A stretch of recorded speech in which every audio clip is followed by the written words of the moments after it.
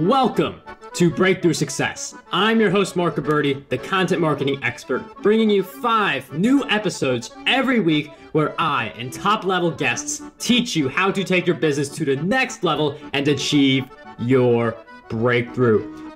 Hello, Breakthrough Success Sisters. I just wanted you all to know before the episode actually starts, I've been working a little bit behind the scenes to give you something really special. So, a while ago, I wrote my book, Content Marketing Secrets, which helps people create, promote, and optimize their content for growth and revenue. And I just put the finishing touches together to offer that for free to anyone who is interested. So if you want your free copy of Content Marketing Secrets, all you have to do is head over to marcguberti.com slash book. Now, let's jump right into the episode. Some of us have really strong messages that we just want to share with the entire world. We want as many people to hear our message as possible. And some of us want to start movements around those messages that results in more business growth, that results in the world being a better place, and just results in human progression. So, how exactly do we start a movement around the ideas that we hold so strongly?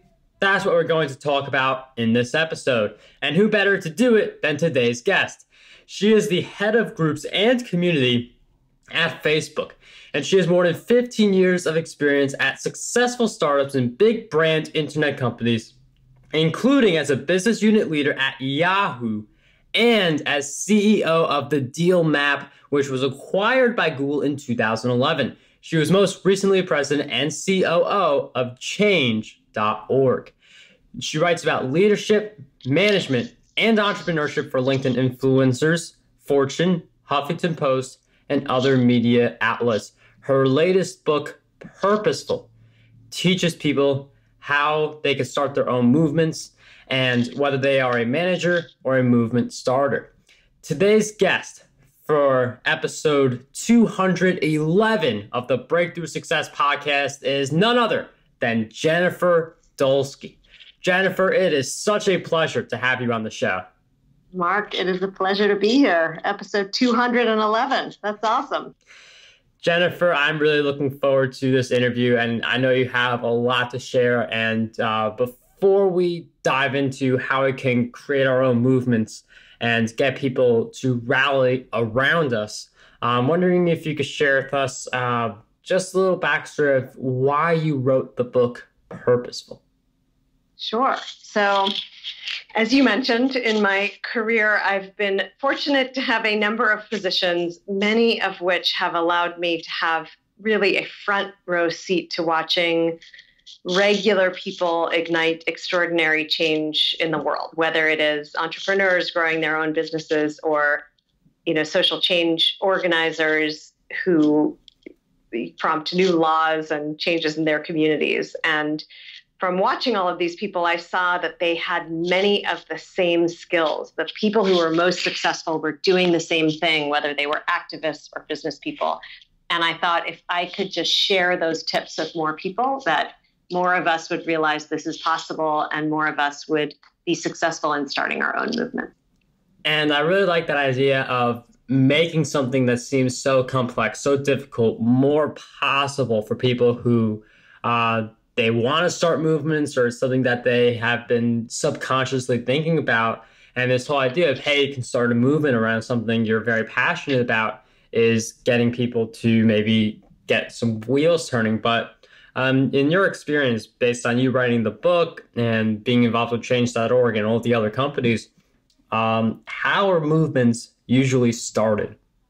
Yeah, so the really interesting thing is I think some people get intimidated thinking they have to start with some huge step or you have to be, you know, sort of born Nelson Mandela or Gloria Steinem to become a movement starter. And that really couldn't be further from the truth. And actually, I've I've seen you write about this too, which is the power of small actions. And I sometimes describe movements, starting a movement, as being like the first person to stand up in a standing ovation. So I don't know if you've ever done that. Have you have you ever been the first one to stand up and clap in uh, any kind of show? Not.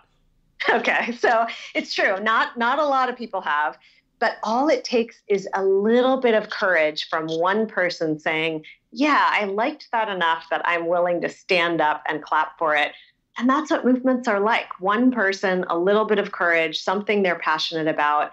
It can be as small as sending an email to your friends to ask for help or starting a petition, you know, creating an online post or blog. Like these are all things that can tip into movements as you start to rally other people in support around you. And it's really interesting how you mentioned like it's usually just like in some case just one person taking a really small step. I mean, when you hear about a movement, usually the way people hear about it, and this again applies to anything like business or to uh, a big change you want in society, you usually see it when it's in the middle. You don't really see the movement as it develops. Uh, so right. yeah, it's just just like the small steps, as Jennifer mentioned, that help those movements happen. But one of the key things is to um, rally people around because you can't really have a movement of one. I mean, that's what movements all start as. They all start as movements as one, but they all pick up momentum. They all get supporters. They all get people who care very passionately about it. So, how can it's we- true. Yeah. So the next step, exactly. Like if you consider the movement starter as a spark for the fire, the next few people who come on board are like kindling, right, for the fire. And a good example here, I'll take a business example since you, a lot of your listeners, I think, are aspiring business people. Uh, there's a, a, woman named Alli Webb who is the founder of Drybar, the big national um, salon that does blow dry uh, for, pe- for people's hair. Are you familiar with Drybar?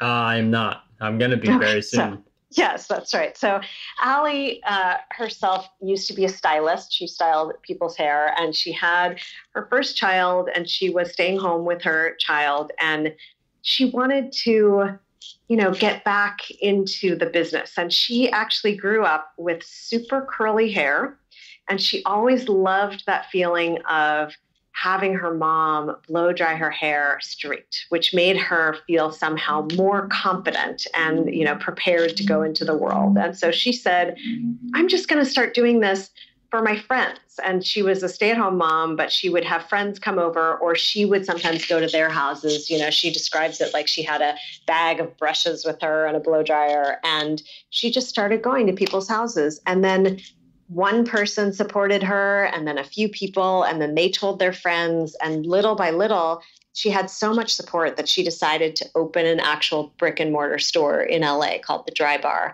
and then when she opened the store so many people loved it it was a movement basically for helping women become more confident about themselves and you know creating this kind of inexpensive way for them to quickly get a uh, blowout to get their hair straight, um, which sounds like a small thing, but it really isn't because these women were going into the world, you know, vastly more confident on those days. And now Drybar has 90 plus locations around the country. They have a line of products at Sephora and other retailers. And it has become this movement that both started small and was kindled by those early people who supported Alli. And again, it's just that theme of um, a few people coming in and then you grow and uh, then it does become that movement. But in Alli's, Alli's case it was something she felt passionate about. Uh, it was something that like she saw that like she liked the way she felt and she wanted to create that change. She wanted to be the product be the service uh, that she wanted in the world instead of saying when is someone gonna do this for me? So uh, if you're thinking about something where, like, why doesn't this exist? You could be the person who makes it exist. That's right. And a lot of the stories that I tell in Purposeful are those why not me stories. So many of them even come out of situations of really difficult personal tragedies, even. There's a story about a man named Hank Hunt who has a really difficult story where he um, he had kind of this picture perfect life, and then he found out one day that his daughter had been tragically murdered by her estranged husband, and this had happened in a hotel bathroom while her kids were sitting in the hotel room on the other side of that wall, and those kids tried dialing 911 from the hotel room and they couldn't get through to 911 because it required dialing a nine to get an outside line. And it's such a sad story. And Hank was able to turn that personal story into a really clear vision that other people could get behind, which is a world in which no one has to ever dial an outside line to get 911, where it would be required for all businesses and all organizations to allow straight direct dial. And he actually was able to rally hundreds of thousands of people, more than 600,000, to sign his change.org petition. They were able to successfully persuade Congress to pass a law called Kari's Law, which now makes it a requirement for businesses to have direct dial to 911. Wow, that that that is a rough story. I mean, like, uh, like not all the movements are started with like the warm fuzzy feel. I mean, like in that uh, yeah. story, like it is rough uh, but Hank said, you know, why not me? As you said, like, I'm going to take my tragedy and turn it into hope for other people so this doesn't happen to anyone else. And rather than just say, this is horrible, I'm going to step up and say, why don't I be the person to change it? And I do like love that theme of um, being the change that you want to see. And there are people who we mentioned like they do have like this idea where like um, so like they want like it to pop up somewhere, but they can be the change. And uh, like not everyone goes through with that, but people like Hank, people like Alli, uh, they're going through. They went through and they made their changes into reality. So uh, when we have this movement idea, when we have this big change that we want to see manifest, uh, it's an intention. I'm wondering how can we transform intention into action? Yeah. So the key thing here is really around clarity of vision.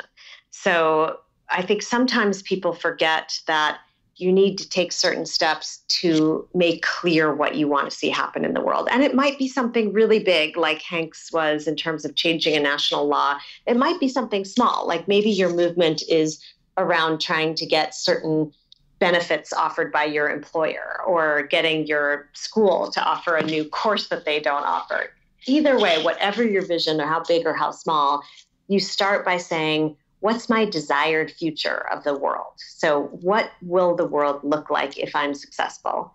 That's step one. Step two is your purpose. Why does it matter to me? So, you know, Hank had a vision of a world where you didn't have to dial direct to get 911 or you didn't have to dial an outside line. And the reason it mattered to him as we know, was so that it wouldn't happen to another child what happened to his grandchild. And then the third part is that story. What really brings visions to life is personal story that people can relate to. So there are examples, um, like there's another example in Purposeful about the Boy Scouts of America and people who were trying to persuade the Boy Scouts to accept gay scouts. And instead of making it this general you should accept gay scouts as a movement. It was actually individual people and their stories that ended up being more persuasive, like the story of a young man who had been all the way through the Boy Scouts and then at age 18 was denied his Eagle Scout award because he was gay. Those stories are what really resonate with people. And when you have that clarity of vision, desired future, purpose, and a clear story, that's one thing that helps you turn your intention into action.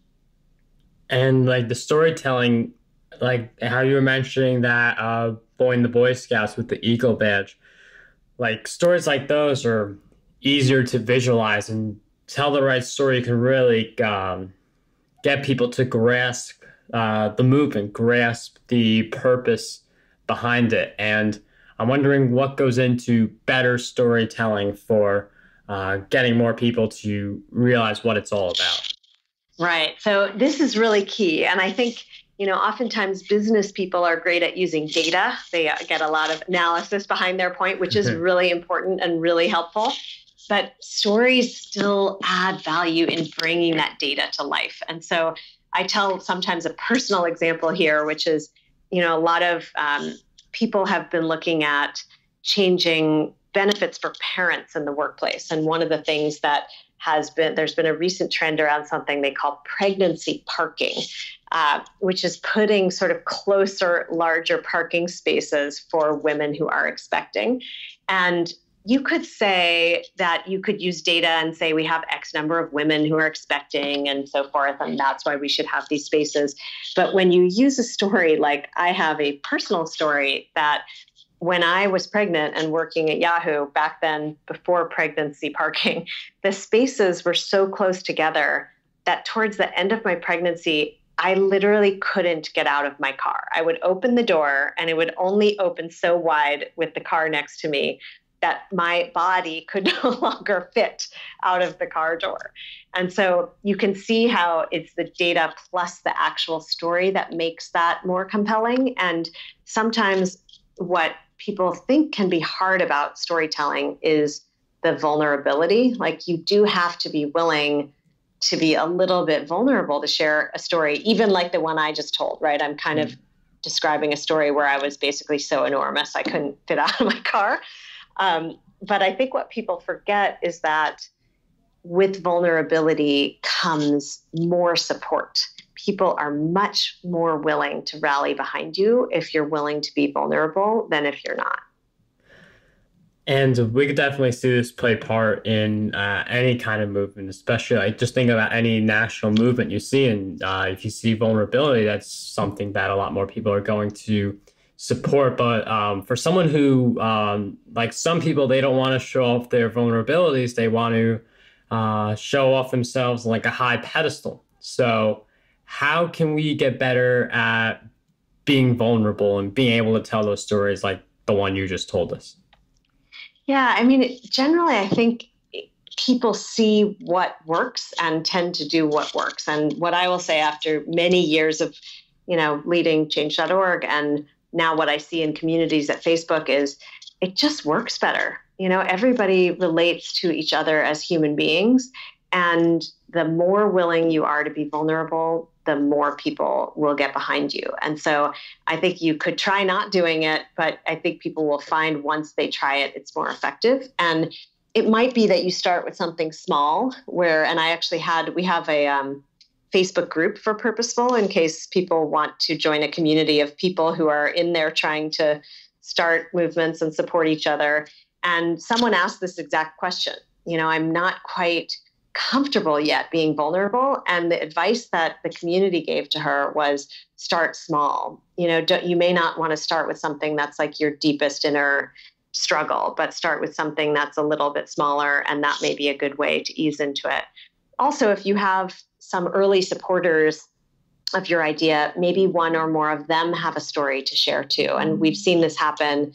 The Boy Scouts is a good example. We've also seen it happen the Me Too movement is a really good example of this, right? It isn't one person's story, it's everybody's story, and that's why it works. And uh, for basically this entire episode so far, we've been talking about how to build a movement, how uh, to rally more people behind us, how to do storytelling. Basically, uh, a few of the steps we need to grow from an idea just that we have to a whole movement. Uh, but to change course a little bit, I'm wondering if you could share with us what do you believe holds most ideas, most uh, ambitions, most products or services back from becoming movements?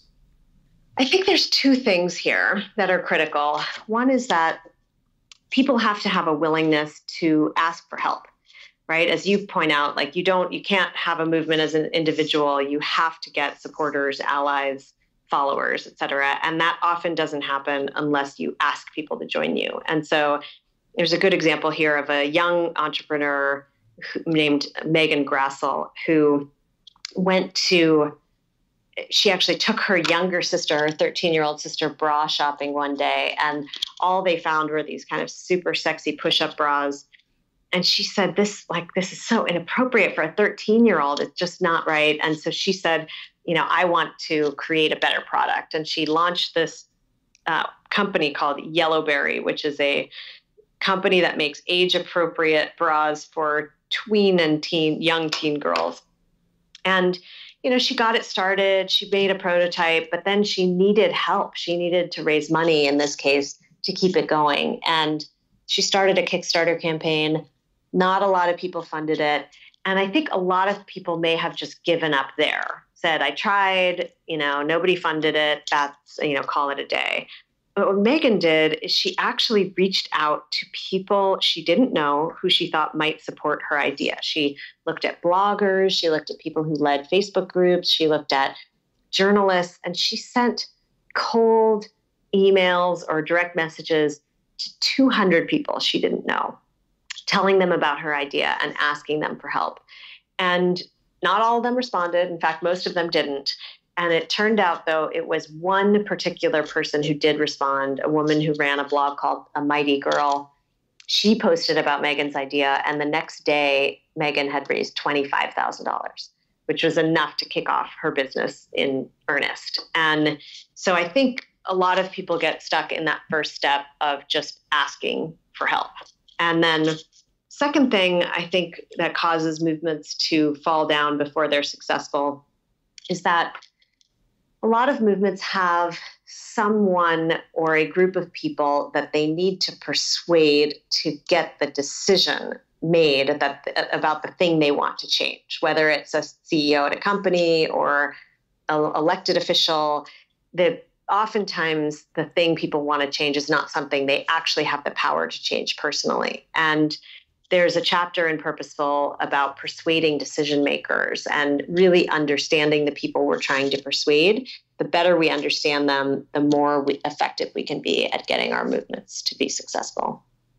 And uh, like, um, again, like you're bringing in a lot of stories into this episode. You're talking about a lot of case studies, examples, and uh, in some cases, it, it could just be the right person uh, coming across your email, coming across your movement at the right time, and all of a sudden it just massively grows.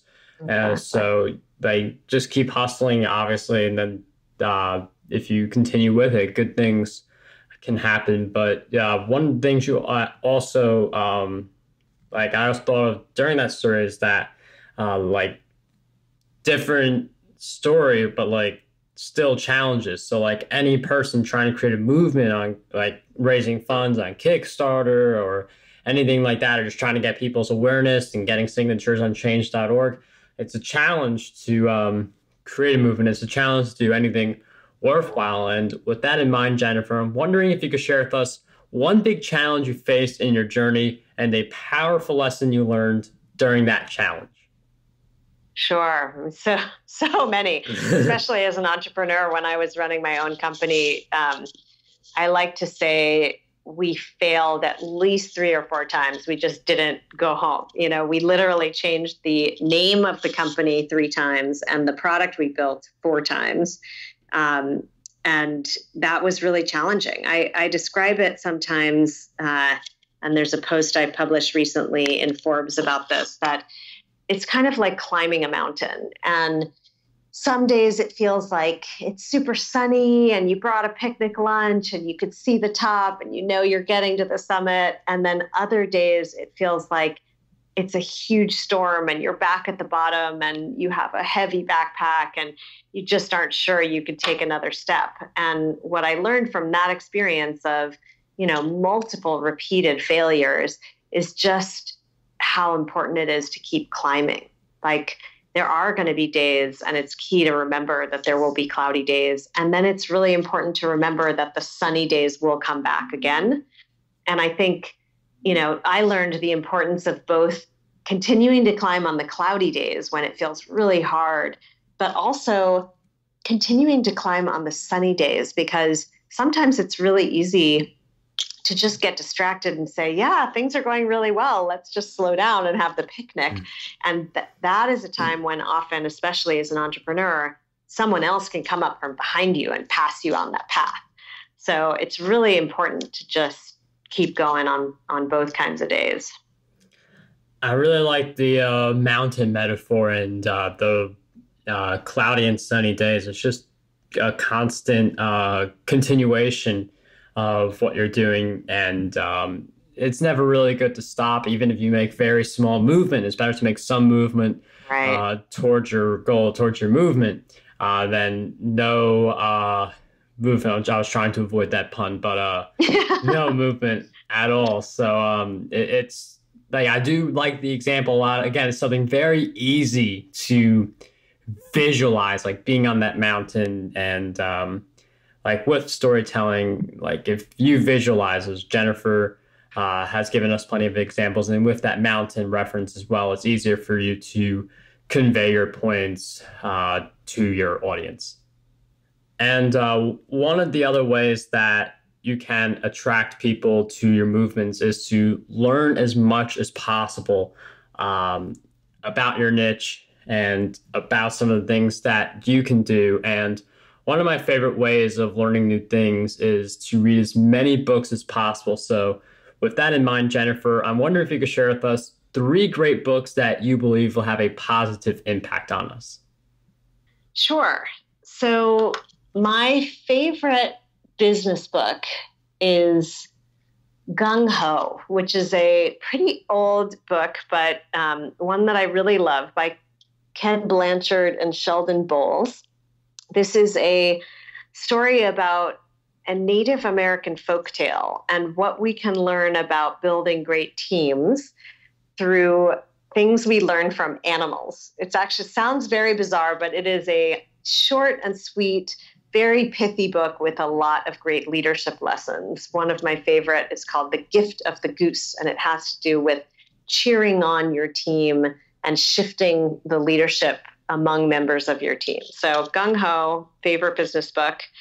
Um, I know you're a Seth Godin fan. My favorite Seth Godin book is Free Prize Inside, um, which, if people have not read it, it comes in a cereal box. And the reason I love this book is not necessarily because of the creative ideas he poses in the book, but because of how he explains how each of us inside organizations can um, can be the champion of ideas. It has some similar themes as I write about in Purposeful. And my other favorite business book is called The Rockefeller Habits by Verne Harnish. And this book really talks a lot about the process of leading a team to excellence. And he covers something in the book called the one page strategic plan, which I've used in most of the businesses and teams that I've led. So those would be my three top ones. Jennifer, thank you for sharing with us those great book recommendations. Those will all be in the show notes, marcguberti.com slash E211. And for anyone interested in a book that can help them create, promote, and optimize their content for growth and revenue, you can grab your free copy of Content Marketing Secrets over at marcguberti.com slash book. And before we wrap up this episode, Jennifer, I've asked you several questions throughout our time together, but what do you believe is one question that we need to be asking ourselves more often? Mm. I'd go with why not me, right? That's the core question behind purposeful. If you see something that should exist that doesn't, if you see something you want changed, ask yourself, why not me? Jennifer, thank you for sharing with us that great question, all of your great insights throughout our time together. If you guys want to learn more about Jennifer, get her book, Purposeful. Are you a manager or a movement starter?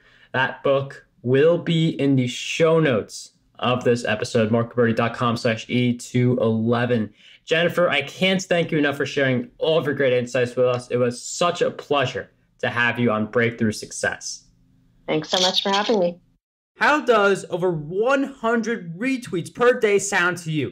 My free ebook, 27 Ways to Get More Retweets on Twitter, has you covered. I use the methods within this ebook to get over 10,000 retweets every single quarter. To learn